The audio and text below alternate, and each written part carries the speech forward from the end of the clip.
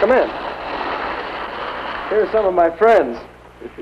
I think you'll find they have helpful opinions.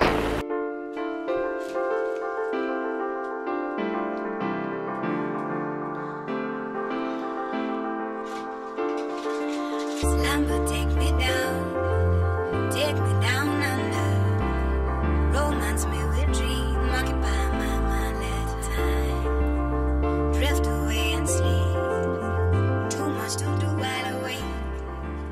Law is one of three forms of social control which regulate our daily lives. Custom, what we usually do. Moral code, what we should do. And law, what we must do. moral code should sort of be set on um, past experiences, I think, and certain things that you've learned from your family. Um, moral code, I don't think, lots of people would say it comes down to religion or it comes down to um, the values you've been raised with, and I would definitely pick the latter. Well, I, I wouldn't call it a code, but I do have certain morals, things that I, you know, live my life by, I guess. Uh, like I, I have a Christian background, I guess. So um, um, a lot of my moral code is based on you know Christian values and, and sort of uh, I guess ideas that are based on like the Bible and stuff like that.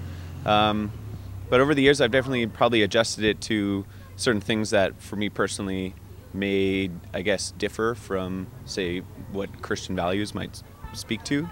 you have to try and pick up from what your parents learn taught you uh, or the people you hang around like the influence I would say that my moral code is basically just uh, I feel like you should be in, in uh, eh, you, you you should know your will and you should uh, basically li- live your life on your will, figure out what you really want and then uh, then go for it and do it.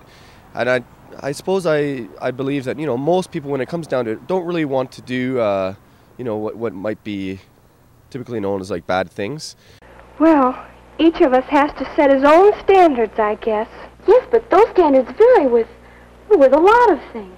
Um, I believe there is major moral collisions ahead, but at the same time, I think that each culture should have the right to maintain their moral ethics and uphold them.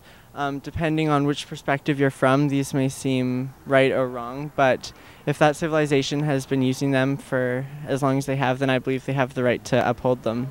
Um, I've done a lot of traveling uh, overseas, and, and I, I do feel more comfortable in, in, other places just because our, our culture here today, in, in this day and age, I think is so largely based on um,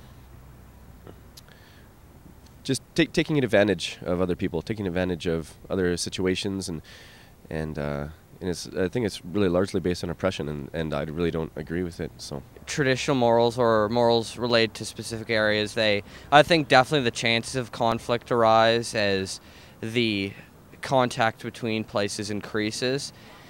But and I think that there's a lot more possibility for some morals to be broken with the greater amounts of technology and greater chances to do so that we do have nowadays. I think it's more likely that that will occur.